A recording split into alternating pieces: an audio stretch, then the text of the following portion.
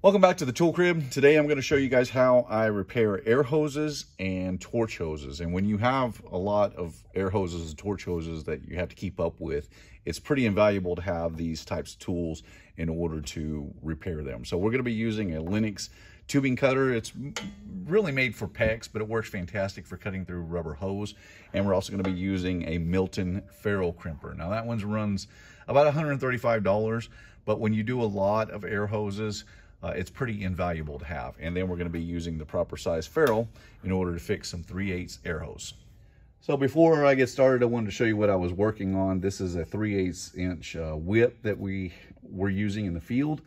And to put it together, we had to just use regular hose clamps. And while that gets the job done, it's not the cleanest of looks.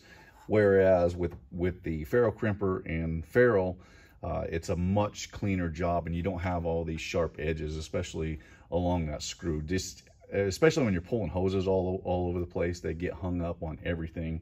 Uh, so it's, it's much better to keep it as smooth as possible. And this is a much cleaner and better connection. So I've already taken out the uh, the female hose barb and gotten rid of this uh, clamp. And now we're going to use Lenox cutters in order to make a nice clean cut on this one.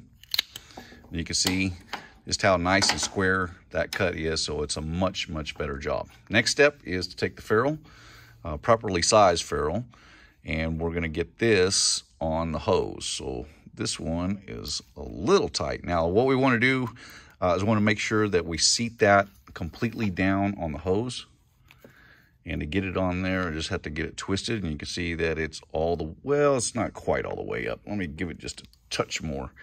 And now we're ready to crimp that connector together as soon as we get this little guy back in. Now let's put it together. Now that we've got the uh, barb back in and ready to go, all we have to do is set it in the proper size hole, get it seated up, and crimp it.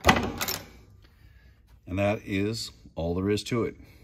A much cleaner connection than that uh, hose clamp that we had on there before.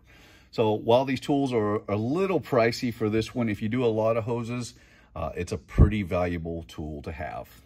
My name is Ben. You've been watching the Texas Tool Crib. I appreciate you watching. See you in the next one.